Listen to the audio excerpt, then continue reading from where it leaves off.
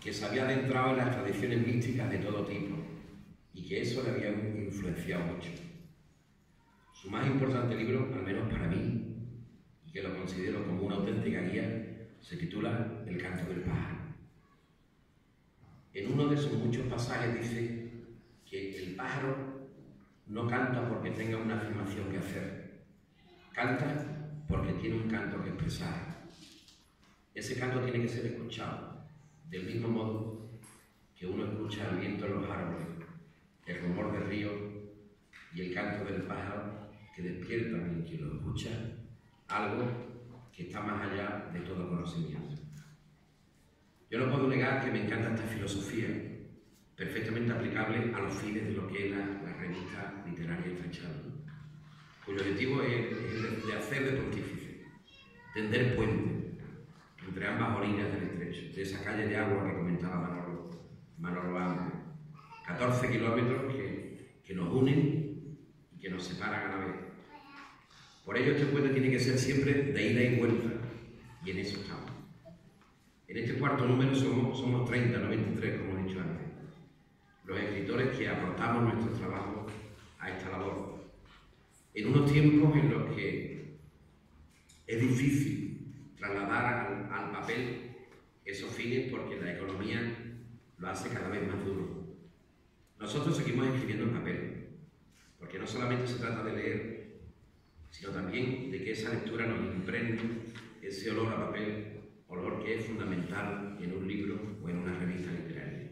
Así que aquí estamos otra vez.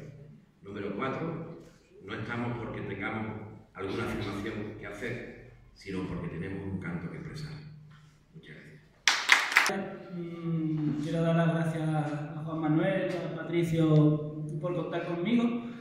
Eh, para mí es un placer. Em, participar en la revista Estrechando. En este número no he podido participar, eh, participé creo que en la número 2. Y, y, bueno, tengo un nuevo libro, bueno, mi primer libro, del que, que, son, que es de poemas y del que voy a recitar un par.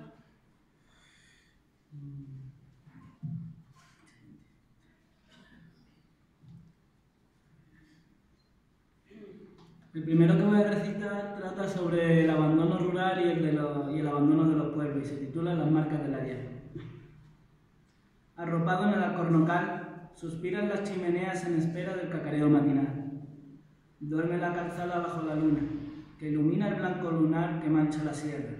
Desde la cima llora la ribera, que balanceándose en su cuna se pierde el mar. Y no se ve llorar a nadie más.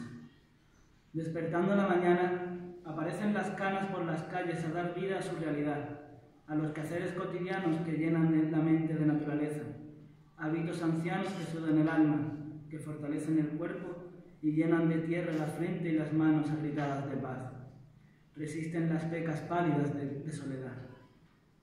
Quedan cuatro tumbas, que ajenas al movimiento se pierden en la novedad, ante un nuevo mundo que no entienden ni saben qué contestar.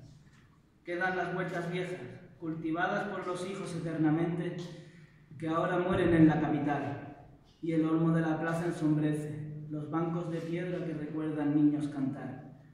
Con el olvido envejecen, las lágrimas de cal mueren sin aromas que las quiera bañar. Los gestos sencillos se pierden en gigantes de cemento, alimentados por un sistema aún más complejo, cada día más artificial. Y en procesión marchan ellos, invisibles al tiempo hasta el final.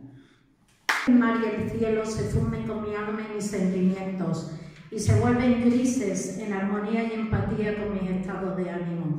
Un paseo entre las nubes, laberinto sin salida, la búsqueda de respuesta a tantas preguntas y enigmas.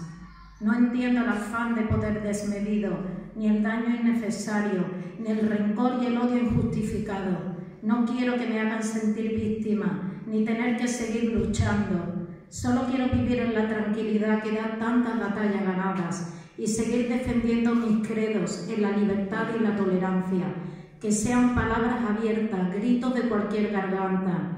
Que se abran puertas y balcones, que el amor inunde cada estancia. Que la lluvia que apareció por sorpresa deje de mezclarse con mis lágrimas.